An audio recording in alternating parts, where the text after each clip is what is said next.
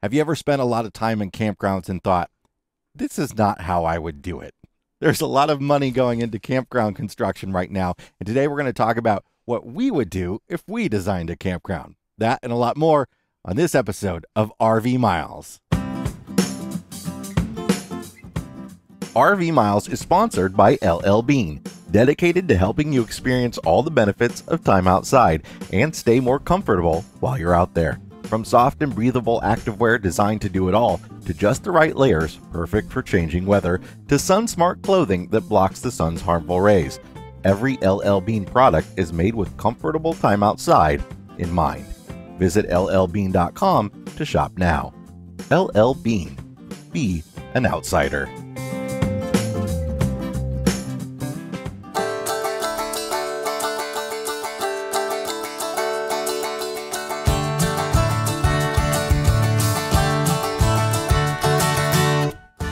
Welcome to episode 187 of RV Miles. I'm Jason. And I'm Abby, and we are two full time travelers who, along with our boys, Jack, Ethan, and Henry, are crisscrossing North America on one epic road trip. Each week, we talk all things RV and outdoors, from travel destinations to gear, industry news, our national parks, and a whole lot more. We're wrapping up our stay here at Davis Bayou, one of our favorite campgrounds as part of the Gulf Islands National Seashore in Mississippi. This is the Mississippi unit, and it travels all the way over to Pensacola, where the uh, the Fort Pickens area is as well. We we love this area. We love the Gulf Coast, and uh, we're sad to be leaving it.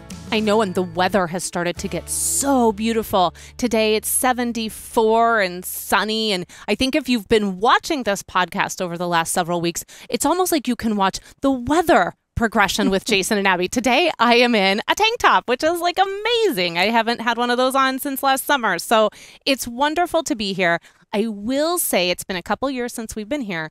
And I do think that this National Park Campground is now ready for a little TLC. Well, it's clear that there's been some hurricane damage uh, yes. around here, and they're they're working on it. But the roads roads are in, in need of some maintenance and the campsites themselves the camping pads are in need of a little the rv pads i should say. And also there's you know the roads are just getting torn up now. The trees are starting to kind of take we, over which is we're kind of cracking up at the the campsite next to us which is the the accessible campsite. Uh, yes. And it is no different from ours except Mm-mm. for the fact that the pad is slightly wider in the back where where the uh, where the fire pit is. So but, somebody in a wheelchair could go right up to the fire pit, but it's nowhere near the bathhouse. Well, no, it's well, it's the closest to the bathhouse, sort of, but, but there's no path. There's no path. But what's interesting is that extra bit of concrete doesn't even match up with someone's RV door. So the door still walks out onto the grass. So there's, you know, this is just a campground that, yeah, it's just a campground that's, you know, I think one of those that I hope is on the list that they're going to just give a little love to because it, it does need it. It's such a great campground in such a great location. So it's and it's very, very popular and it's starting to show. Yeah. Uh, we're moving on from here up towards the north. We're going to start moving up into the great state of Alabama mm-hmm. here in the next uh, next couple weeks, and uh, and then on to Tennessee. So uh, if you are watching on video, you might have noticed that there have not been video episodes for the last two weeks. Nope. Uh, so or you, two episodes. Actually, two episodes. Yeah. yeah. it wasn't two weeks. Over the course of one week, two episodes. The last two episodes were podcast only. So if you're watching on YouTube, you might want to head over to the podcast feed if you want to go listen to those. But uh, we're going to continue putting them out on YouTube. We just needed a couple days off to stop looking like we had chicken pox. The the no-see-ums, a lot of people have asked us what no-see-ums are because they haven't heard of them. I hadn't heard them either before we hit the road, but basically they they bite you like mosquitoes do, but they're like, so small that you can't see them. Yeah, but one mosquito bite I feel like equates to 30 yeah they, they just bites. hop they, around you and bite. They crazy fierce. Anyway we have we have droned on and on about these so look I, i'm wondering what alabama has in store for us in regards to no-see-ums because we have we haven't been outside. We've not been spending any time outside at our campground because it doesn't matter what we have on our bodies. They just attack us. There's something about the eppersons that they really really like here I have no idea what it is though. All right, we have a listener question. Uh, this is actually a question that comes from the Facebook group. Which you should come join if you haven't had a chance yet. Come on over to Facebook and join the RV Miles Facebook group. Actually, a couple questions we're going to get to. The first one, we have an A liner, and from the dot code on the sidewall. So an A liner is one of those A shaped, uh, sort of like a pop up camper. yeah, there was just one in the yeah. campground the other day. They're really cute. And from the Department of Transportation code on the sidewall of the tire, they look to be five years old. Do you think we need new tires? Now, if you don't know about finding out the age of your tires, there is a code on your sidewall. It's it's it generally says dot and then four numbers, and the numbers are the the week of the and, and then the year. So the first two numbers are like it might say 16, so that would be the 16th week of you know then it would say 19 2019 so that's how you can tell how old your tires are. Now with motorhomes i'm generally recommending to people with a motorhome that they can probably go up to seven years with regular inspection of their tires. Motorhome tires are a little bit more ro- robust and they don't take as much abuse as trailer tires. Trailer tires i usually recommend no more than five years now, an A-liner is a single axle trailer, and single axle trailers don't take as much abuse. When when you've got multiple axles on a trailer, those the the, the tires sort of scrub as you Mm. turn, and Mm. and that that's why trailer tires have sort of a thicker sidewall.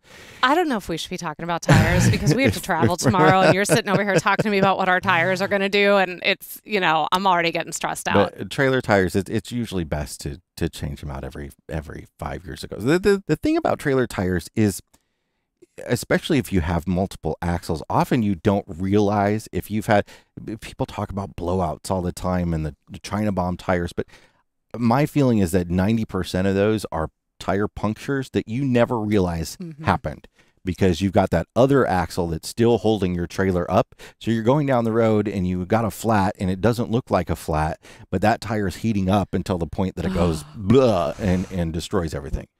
Oh, good. Anyway, it, it's best to have, you know, obviously My palms decent are tires. sweating. My palms are sweating while we're talking about this. And it, I do also recommend that you upgrade tires if your trailer came with some super cheapos because a lot of them do. yes, which we did. And that brought me a lot of peace of mind. I'm already being bit. already. Only All been right. out here 10 minutes. Next question, rookie question. We rented five RVs for five nights. When we thought that was a typo, Yes. it is not. They It's not. rented five RVs. It was five families that rented five RVs for five nights. I was like, wow, I want to hang out with these people. They're just renting RVs for fun. Should we pack up night four and head to a different campground closer to our rental site to make meeting our 1 p.m. return time easier? Or is it too much work to dismantle all the hookups and pack up twice?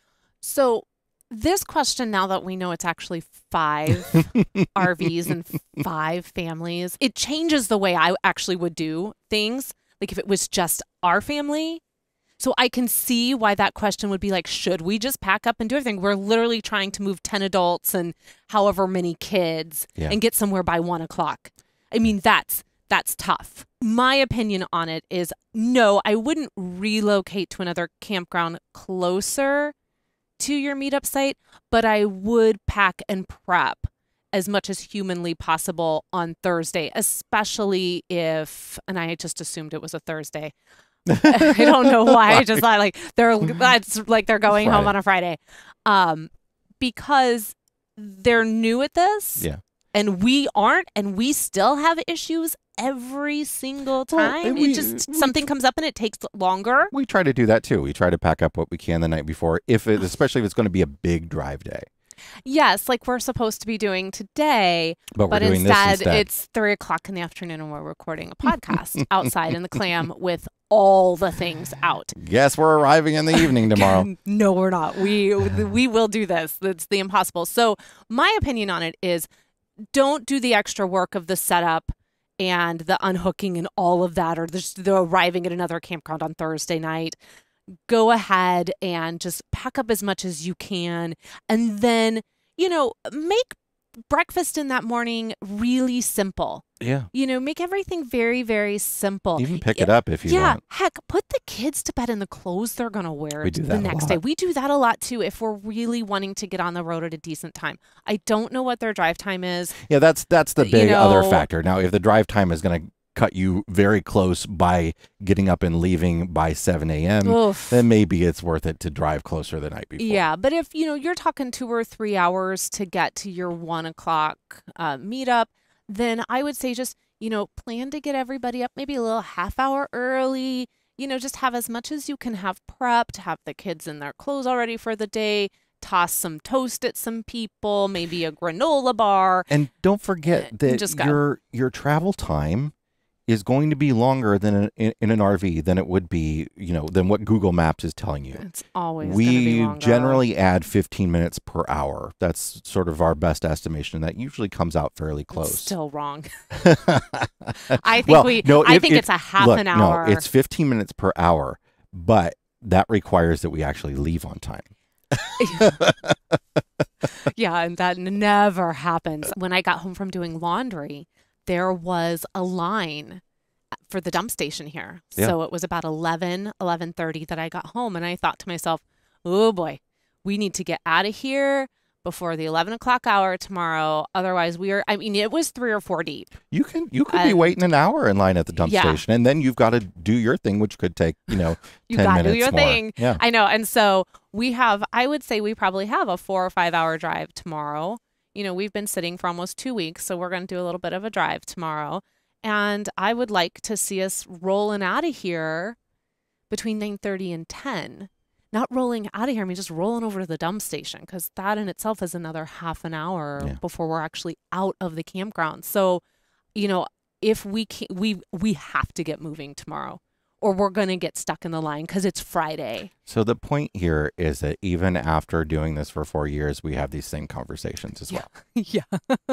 we could very easily have been that person that posted that. And you know, one of the reasons why I wanted to talk about it was because I was just really pleased to see that someone who's new at this felt comfortable asking. And on top of that, I was just really pleased to see the number of responses and encouraging responses that uh, you know were helpful that didn't make this person feel bad like oh great another newbie i really really detest when new to rvers ask you know a question and then all the quote unquote seasoned rvers just come in and basically like there's a google for oh that boy, there's a lot of that happening right now. I know, I know. And so I'm, you know, I thank the RV Miles Facebook group. I, I'm thankful that it's still small enough that that's not really happening yet, but I'm also just really thankful that the people in there just are coming from a place of inclusivity and kindness, you know, because as long as we continue to come from that place, then, you know, there's no question that someone shouldn't feel like they could ask. All right, let's take a break, and when we come back, we're going to talk about what we would do if we built a campground. Plus, we'll have the answer to last week's brain teaser. WWJD, what would Jason do? no, what would we do?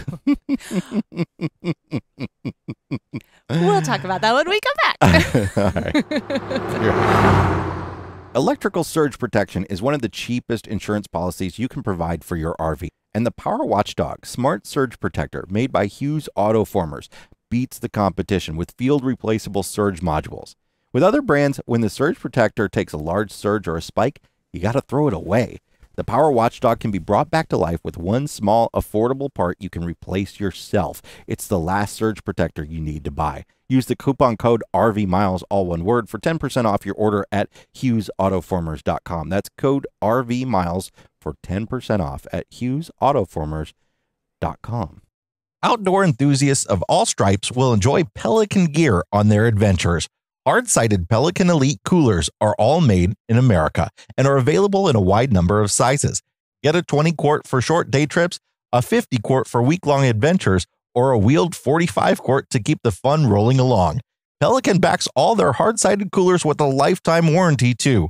RV Miles listeners can get a free day venture tumbler when they visit elitecooler.com slash RV Miles and spend over $100.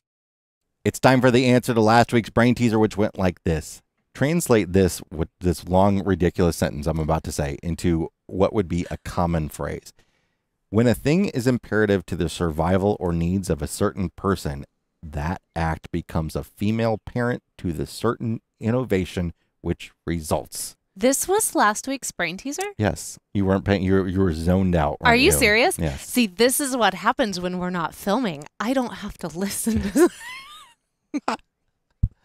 Wow. I I'm pretty sure I'm pretty sure I was on Facebook checking some things. I'm pretty sure you said you were on Facebook. I I'm yes. I, I have a feeling I was I was on Facebook seeing what's going on around uh, RV Miles. So I, yeah, yeah. this- Around RV Miles. What are Harry and Meghan up to? hey, okay, I finally got around to watching that interview last night, and that was intense. No Okay. tangents. Moving on. It was intense. the answer is necessity is the mother of invention. We'll have a new brain teaser later on in the show, but now it is time to talk campgrounds. Let's talk campgrounds, Jason. Look, we have been we have been on I've done more of this than you lately because you don't want to do it. But people have been asking us um, to to get on conference calls a lot lately to talk about what we like in campgrounds. And these are people that are building resorts that are costing tens of millions of dollars. Lots and lots of money. They're big, big camping resorts being built right now. Can I just say before we go on, because I need to address Yeah. said the elephant now that you threw out in the room. It's not that I don't want to have these conversations. I'm not. I don't want it to seem like I'm being snooty. It's just that you're better. Oh, okay. Well, at- this at I'll be turning it into expressing- a compliment. Thank I am better at caring for the children while you are on the phone. Yes. I, you know, All I- right. if I could have that conversation via text, I would be there so fast. But when you ask me to get on the phone, I get busy. So we try to answer those questions truthfully about you know what you, uh, the listener, the the the RVer out there, might want, and we try to answer them based on you know what the resort they're building. Like if they're building a tens of millions of dollars resort, I'm answering those questions based on what I want when I visit one of those places, which, you know, we might do from time to time. We don't do it that often, but from time to time we'll splurge and go to a really cool place, right? And, I'm happy that those places are there. But what's oh yeah, what's happening right now in the campground industry is that there's a lot of people recognizing that there's a lot of money to be made in campgrounds right now uh, because there's a lot of RVers right now and RVing is growing and growing and growing. So there's a lot of investment capital going into campgrounds. And they're often from the other hospitality industries like hotels. And they often One of the four businesses. right. They so the office reference there. Uh, there there is they're they're looking to build you know these luxury experiences. And that's cool and all. Um, and, and then the other thing that's happening a lot is a lot of people are buying rundown campgrounds and freshening them up and that's cool as well but We- are not here to talk no. about any of that. what we think is missing is money going into building nice friendly affordable convenient campgrounds Yeah, this is this is what we're going to do today. We're going to play a Yeah. game essentially that's what if Jason and Abby had an unlimited amount of money and could build their own campground? Yeah. What would Jason and Abby put in their campground? So the first thing because we actually were having this conversation yesterday and it it was like fireworks were just shooting off over your head. this is what i do i just my brain is- just goes it does. It's you, it just all day long. And so sometimes if I ask him a question and I'm looking for just one answer, I get like 50 answers and then I think to myself, "Oh, wow, this is something we should talk about this." Like he's got so many ideas. So steal this idea we need to talk about this. One of the things that the very first thing, if we were to build a campground, and this is just in our world, the kind of campground we would love to go to, it would absolutely be a campground that had full hookups at every site, but it would feel like it was a state or federal campground. So obviously, it would still be a private campground, but we would have these really big sites. Yeah, you know, and th- there are ways to accomplish that without making it. Um, you know, you obviously you still got to make money, right? And I, Right, I, I had said why that they I- cram them in, but I had said that I wanted to do pull throughs, and then you were like, well, if we do pull throughs, we can't have these big sites. So, anyway, I'm going to just like jump in every once in a while, but I literally just want you to start talking the way you were talking to me yesterday. all right. And then I will I will just jump in because I think what you were talking about, I couldn't find like I couldn't disagree with. But I thought it was just really cool the way you just started rolling. You were essentially building this beautiful picture for all of us in the RV yesterday. And I thought maybe you could Okay. do that here. Well, here's the, the big focus, the the big picture portion of this is that I think a lot of people RV because it is a more affordable way to travel than going to hotels and resorts. uh, Um, it's also COVID friendly. yeah, there's there's a lot of reasons. Um, it's a very convenient way to get around. Uh, also, a lot of people hate uh, they hate hotels because they don't want to use bathrooms and beds and bedding and stuff that other people use. A lot of people just like to have their own stuff. A lot of people want to travel with pets, all that sort of stuff. But I think a lot of people are looking for affordability. So I'm looking at like if you're looking at the hotel world, like the Holiday Inn Express, you know, a decent, nice hotel to go to. It's not a bit when you when you plan out a giant vacation to you know you're going to uh you're you're going to visit a, a really fantastic area. You don't normally go to the Holiday Inn Express. Like that's your one vacation whoa, of the year. Hold up. That But- one that we went to though when we were driving from Minot back to the Quad Cities that had that killer like water slide feature. Yeah. Our kids still talk about that. Plus that room was like really really nice. I mean, the idea I think is to build a campground because a lot of people are camping to travel. They want to visit the area. It's not Yeah. necessarily about going to the campground and having a resort experience. It's about Well- having a place to visit an area, right? for some For some, is but th- this is the style of campground I'm the- looking at. at the Jason and Yeah. Abby campground, That's what it is, it's it's not a it's not a destination, it's part of the journey. right? so here's what I think: you you build something aimed at being affordable, but with still fun and comfortability built in. You make it simple, you make it repeatable, and you make it well thought out and designed. You make it friendly and clean. So, Can I say when we go to friendly, clean and simple, Mhm. one of the things I was surprised that you said yesterday, but then once we got into it and talked about it, was that you said my campground would not have a playground. No. And your children were shocked. I know, right?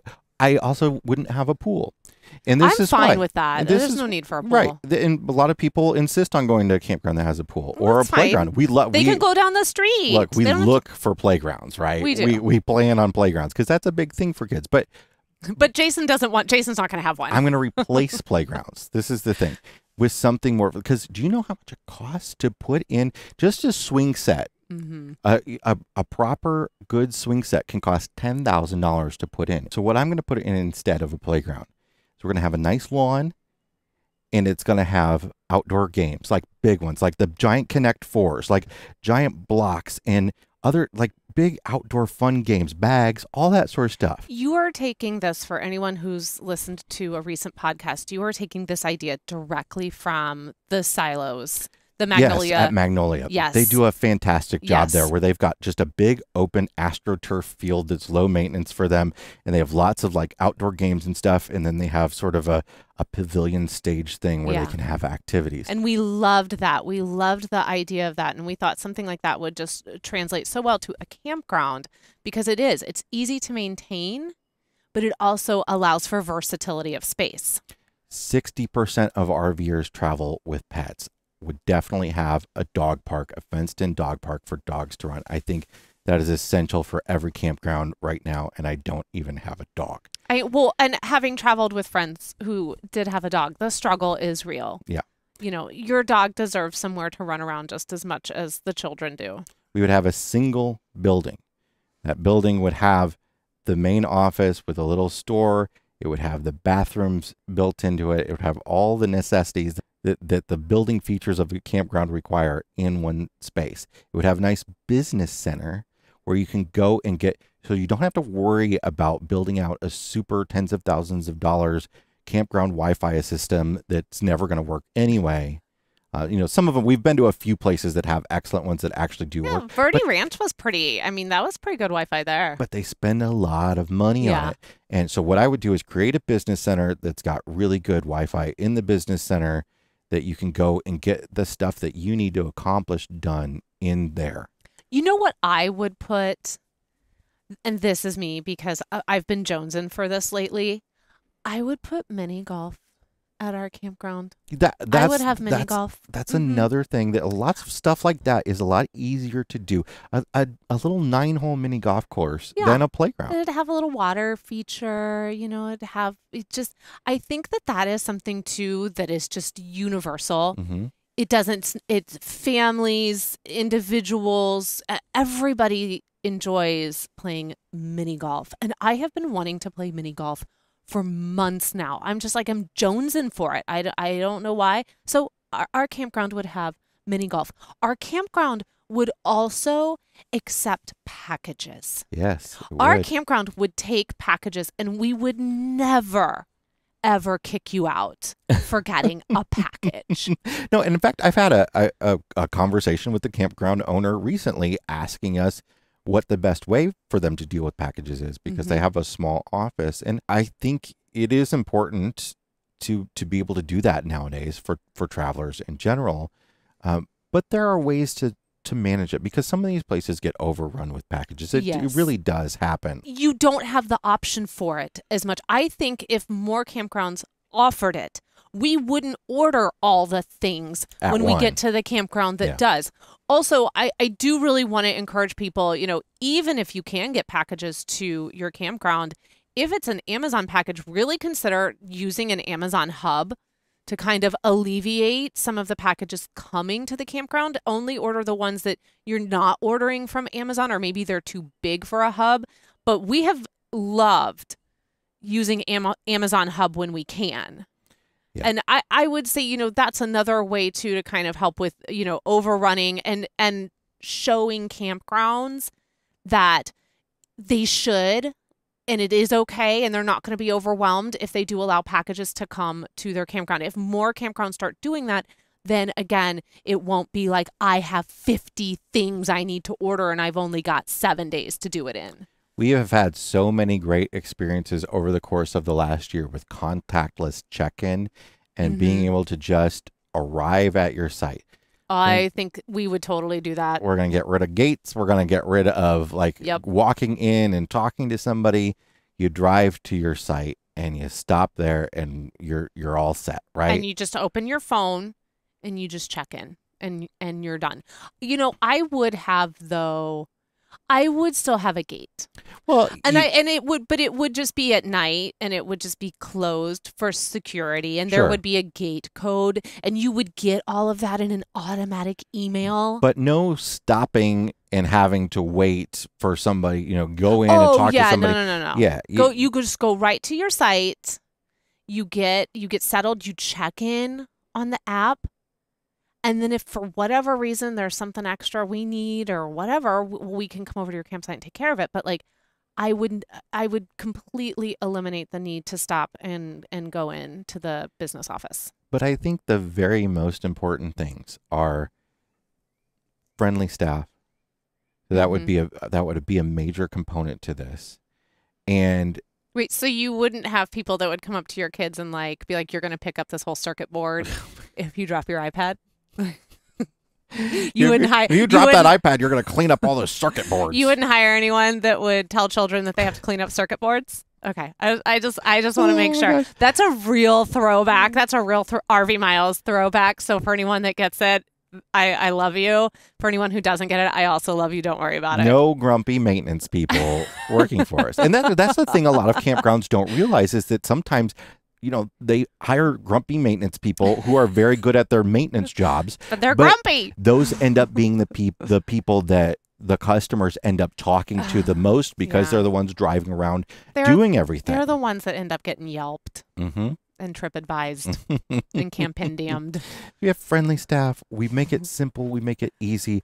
and we keep it affordable. That's that's the gist of it. Yeah. And then and then you build a system that's repeatable.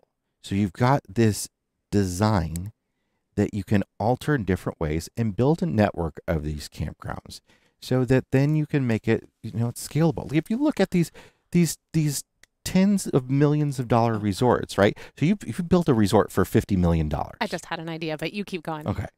You build a resort for $50 million. Then you're able to say charge those people 80 to $100 a night, right? Mhm. You can build a resort for 10% of that, $5 million, and charge those people, so you're building it for 10% of it and you're charging the customers, you know, half as much or slightly less than half, under $40. You can recoup a heck of a lot faster. That's the thing is I think this is a better business model. I completely agree with you. And I had just the most wonderful idea. So, you know how we would have the like pavilion area or whatever we want to call it with the turf and there'll be a stage and everything. Shakespeare in the park in the summer. Fantastic. We could do and we would do them like the condensed versions that Chicago Shakespeare does over the summer, where they take a piece of uh, a Shakespeare play and they turn it into a 90 minute, more condensed, family friendly performance. Well, if you put We would do that. if you put this this open play type area, this big open field, you put this in the front of the park where it's still accessible to other people.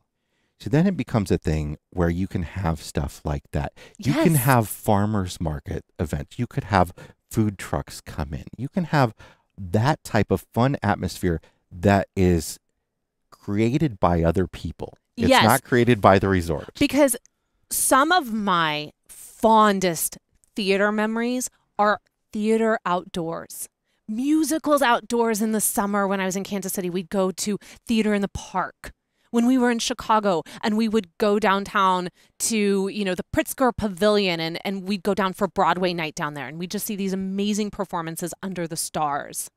You know, what an incredible thing to be able to do at your campground. Yeah. You know, and let's say, you know, you have 40 or 50 sites.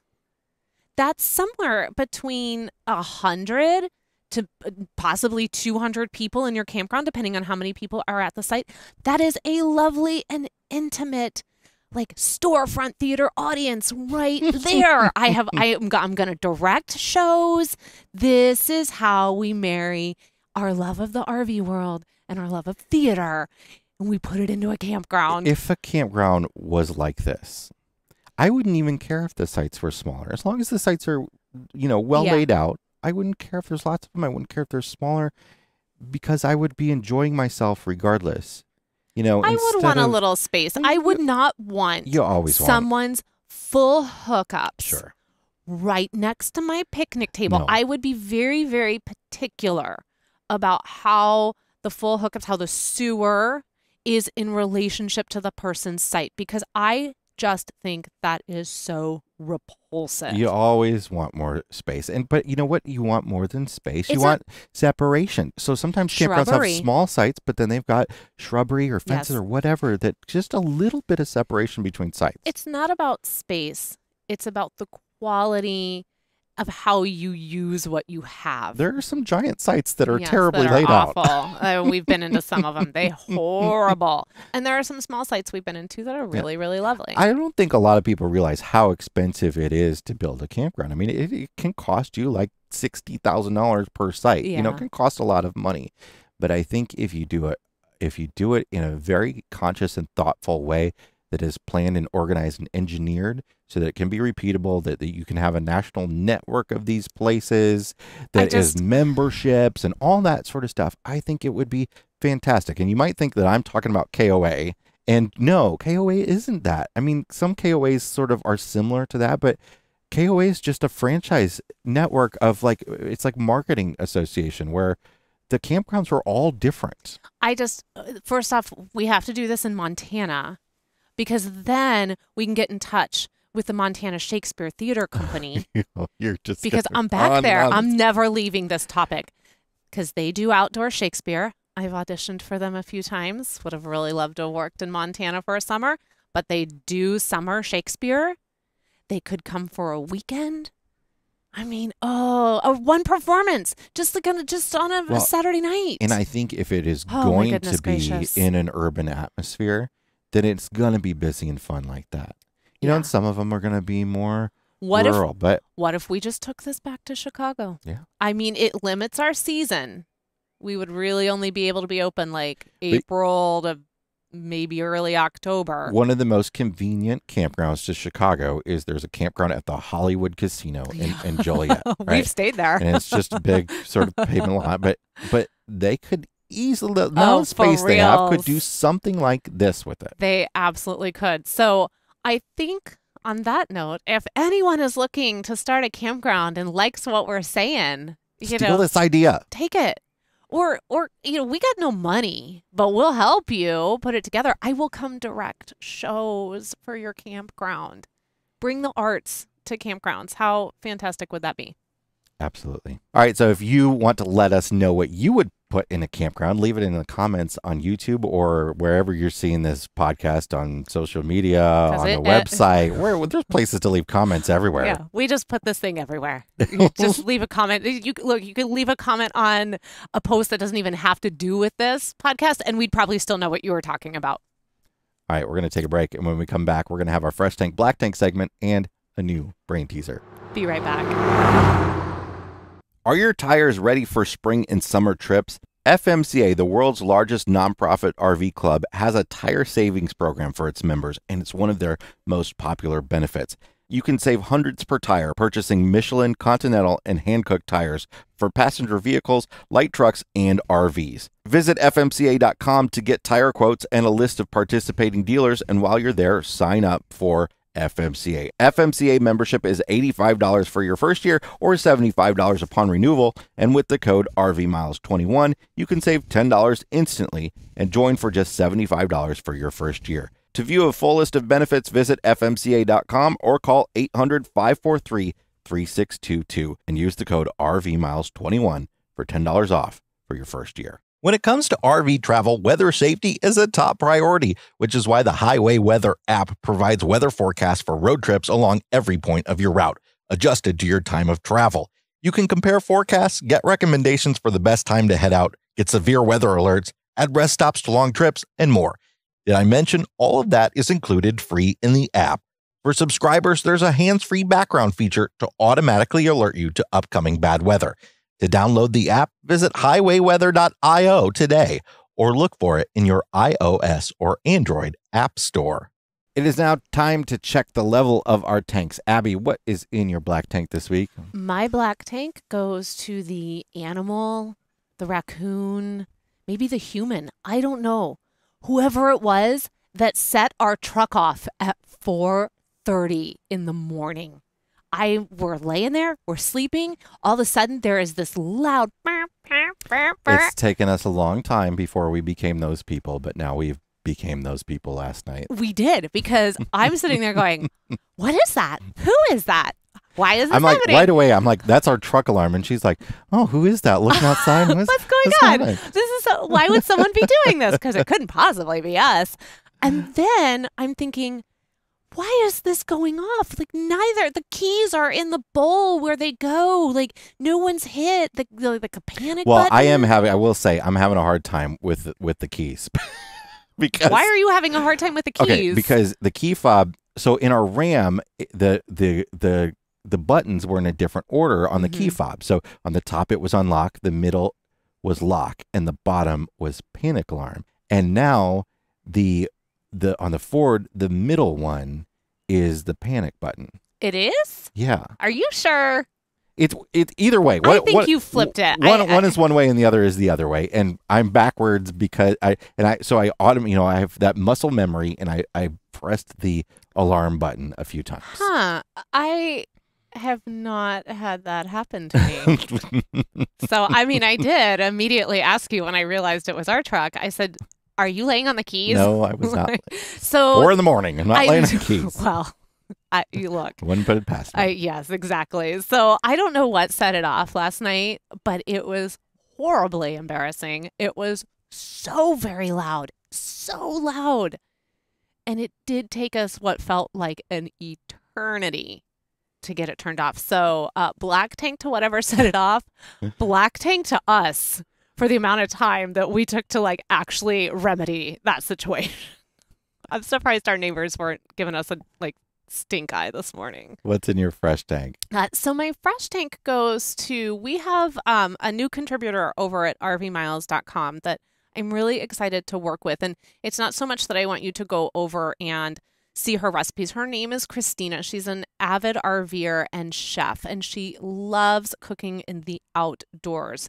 She puts these amazing recipes together. And someone who uh, just so happens to be um, a listener of RV Miles kind of, you know, connected us a little bit, or I happened to see a comment of theirs about her, and it got me over to her site, and I started going through her Instagram, and I was just blown away by what she is cooking and Real quality meals. on on a campfire, you know, on a grill in these beautiful cast irons and it's just really really lovely. And so I asked her if she would like to contribute a few recipes to the website because I have really wanted to beef that section up, but I think we all know by now that that's I'm not going to be the one to do it, okay? If we had a section on takeout, I'd probably able like I'd be able to fill it for days, but I am not going to talk to you about cooking over a fire because it's just not something I do. So she did just send us her first recipe. It was for gnocchi and sage. It was for gnocchi with sausage and walnuts and sage. And it's beautiful and it's easy. But what I'm fresh tanking this for is that I just want to encourage you, if you're on Instagram, to go over to her. She's it's at Thyme T H Y M E and Timber. And that's her Instagram handle. And just go over, give her a follow, and just look at what she's creating because it's really, really inspiring and really easy. And she's just the nicest person. So I'm very excited that she's going to give her time to RV Miles and her recipes.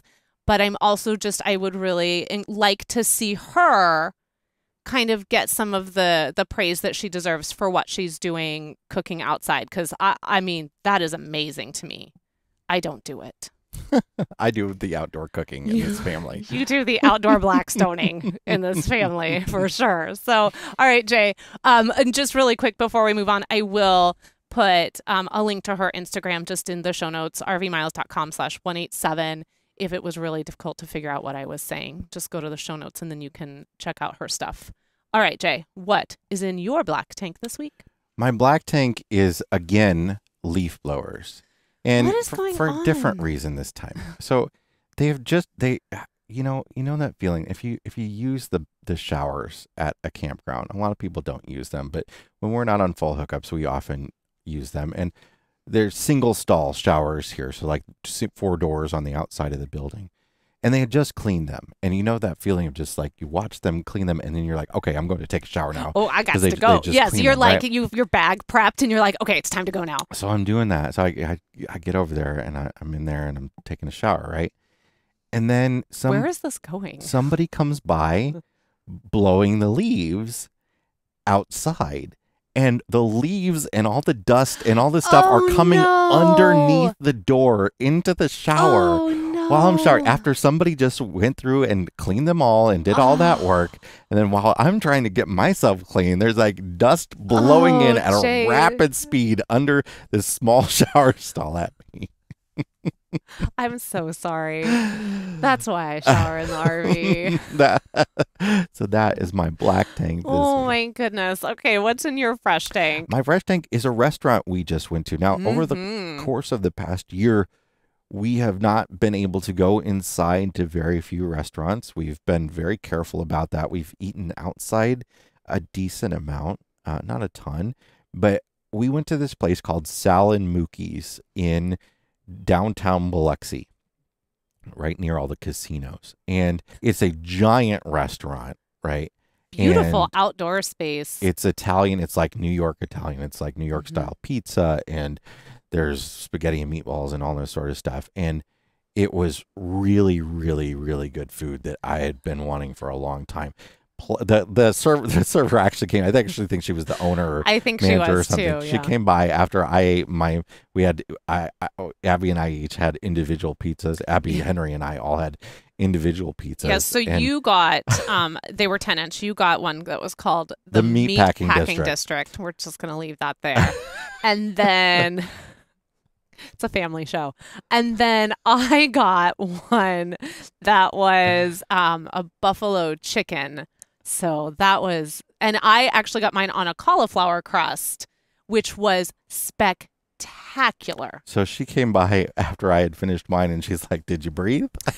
Because literally, the rest of Jason's family is only halfway through their meal. Now, that's, you know, I was only maybe two slices in because I was, I will say, I was reading off a 52 question The Office quiz to the family while we were having dinner, you know, because this is what we do. That's what we do now. This is what we do now. But- we're the we're those people now when it comes to the office. They're getting my fresh tank not because not just because the food was so good, uh, but because it was just so COVID friendly, responsible. hmm They had closed off tables that were too close to each other. They put little green flags on tables that were sanitized and you could go find your own table so you could feel that out yourselves. They because you you don't have a server per se. Mhm. You go You up go and you counter. counter. service and you order. They do come around and ask, you know, can I take your plate? Can I get you anything? And they deliver it to your table. and yeah, all that they do all that, but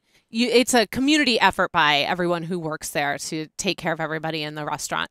And you know, I have to say too, they were appropriately masked up, not that fake mask up that seems to be very popular, but like appropriately. It was like they up. had they had paper menus if you wanted them. Yeah. If not, you could just look at the menu sign. They had really thought about everything, Mhm. and uh, and it really made you feel like you could go dining. Now, hopefully, this felt is all good. ending soon. Ish. Well, you know, Who knows? it's but a new world and but it was also i think for us to um it was three o'clock in the afternoon and this is kind of what we've chosen to do if we're going to attempt to eat outside at a restaurant is we choose to go in the middle of the day so it's i you can consider it a late lunch or an early dinner um, and then that way it's a little bit quieter in the restaurant and that's just our comfort level we feel better about it in that respect but i would say regardless of if when we find ourselves in a post-pandemic world if you find yourselves in ocean springs this is just a really great place to get some food because regardless of whether they were wearing masks or how the restaurant was behaving there was a real sense of just nice people who genuinely cared about their restaurant and how it And was run and their customers and the quality of their food and, and Oh, everything. It was there was some of the best pizza I've had in a very very long time. And Ethan had Ethan had sp- well Jack had spaghetti and Mm-hmm. meatballs, but Ethan ate the meatballs. well, These meatballs We were like the size of baseballs. They were huge, and there were four of them. And Jack's spaghetti, it was ten dollars, and it was giant. Jack's eating adult meals now. I know. Oh my gosh, it's getting Sort so, of eating them. It's getting so expensive to go out to eat now. He's, and he's Ethan- ordering them, but is he eating them? I don't know. Ethan's on the cusp. Ethan's on the cusp. I don't know how much longer I'm going to be able to like put a kid's meal in Well, front his of problem is the only thing he wants is chicken strips. I So know. I know. Well, he's going to upgrade meatballs. Well, you know how many restaurants have adult-sized chicken That's strips because true. a lot of adults go from childhood into adulthood and all they want are chicken strips. So I think Ethan's going to be okay. All right, we're going to wrap this episode up with a brain teaser. Larry lives in a closet. Every year, he is allowed to come out.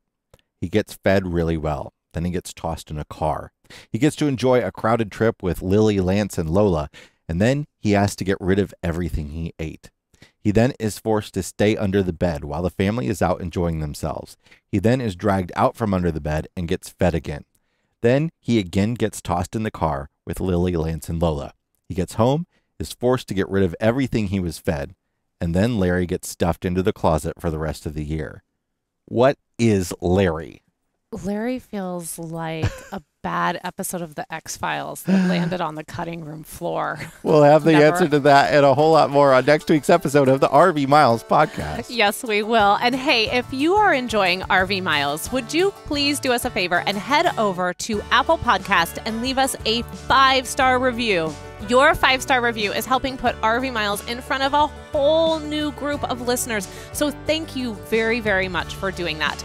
RV Miles is also all across social media. You can find us on Facebook, Instagram, TikTok, and YouTube. And of course, the best way to get in touch with Jason and I is to head over to the RV Miles Facebook group. We love chatting with everybody over there, and it is really such a fantastic group of people. Finally, I want to remind you that the RV Miles 2021 RV and Camping Gear Guide is out. It's a big list of things that we've had an opportunity to check out or just things that caught our eye this year. If you want to see the list for yourself, you can head over to rvmiles.com or you can go to our Amazon store where we have now put every gear guide from the entire life of RV Miles there in the Amazon store. Amazon.com slash shop slash RV Miles. All right, everyone. Until next week, thank you so much for joining us. Be well, stay safe. Please continue to wear your mask and keep logging those RV miles. See ya.